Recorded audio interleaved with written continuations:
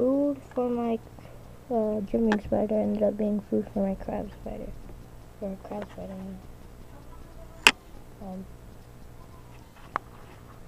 yeah. I just keep on checking Craig. Because she will get out. She's done it before.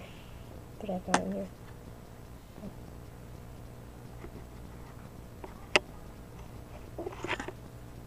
Yeah.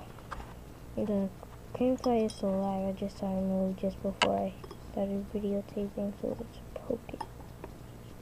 And it's still alive, definitely. I think. Trying to see if it'll get the attraction of Craig, because that would be funny. crane fly is at the end. And then it goes German Friday, Crab Spider, crane fly.